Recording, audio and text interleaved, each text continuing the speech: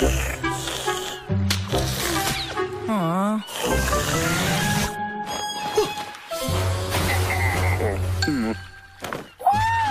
Go-Gurts! Do it flat! I'd love some of that.